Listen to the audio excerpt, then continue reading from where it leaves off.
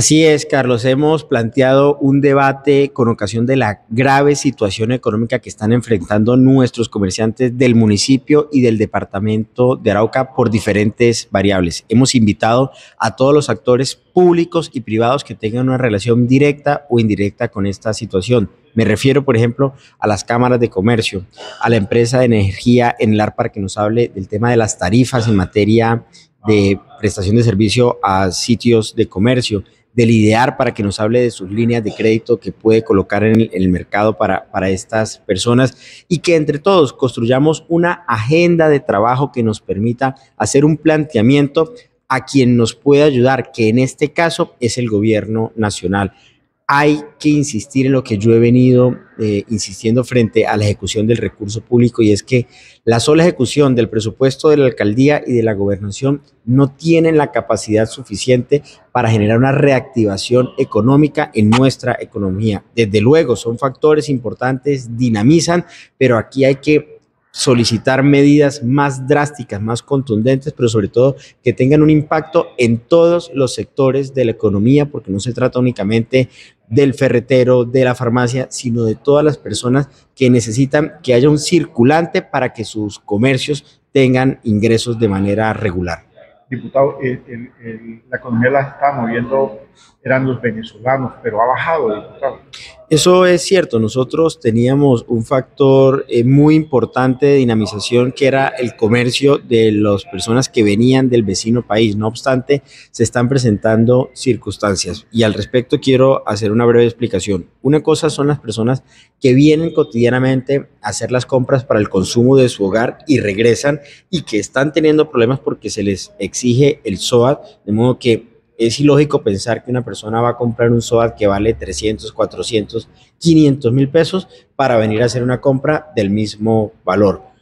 Ahí hay que hacer un estudio de la circunstancia, no podemos hacer el llamado a que no soliciten el SOAT, pero sí tenemos que revisar junto con las autoridades de policía, con las autoridades de tránsito, qué podemos hacer para entender que es necesario que estas personas tengan condiciones para poder ingresar al territorio del departamento, hacer sus compras y regresar. Y de otro lado,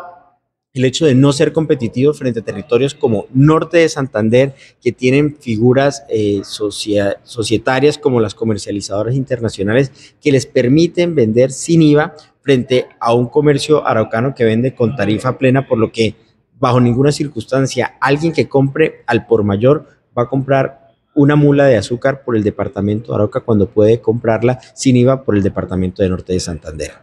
Y otra de las grandes problemáticas es que en Venezuela se ha reactivado el comercio, también la parte de restaurantes,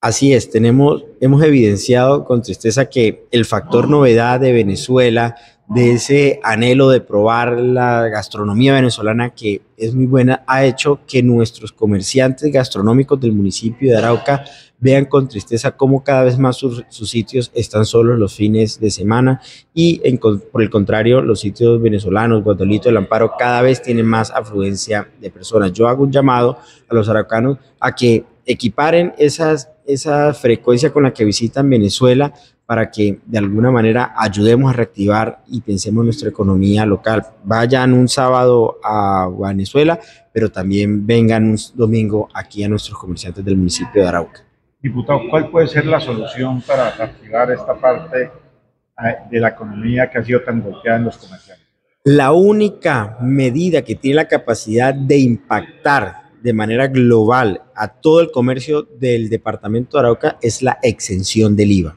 Y es lo que vamos a solicitar en nuestro debate del 11 de julio de este jueves con los comerciantes. Vamos a hacer un planteamiento amparado en lo que establece la ley 2135 del año 2021 que prevé que territorios como el departamento de Arauca pueden ser declarados como zonas especiales de intervención fronteriza para que el gobierno nacional adopte medidas que permitan conjurar las situaciones que se presenten y que afectan el normal desarrollo de la,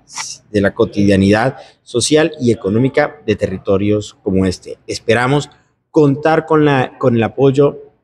de los públicos, de, de las entidades públicas y desde luego con los privados para que generando un bloque eh, de sociedad con dirigentes único, podamos hacer una solicitud robusta, sólida al gobierno nacional que los obligue a pronunciarse frente a esta situación crítica que estamos viviendo en el departamento de Arauca.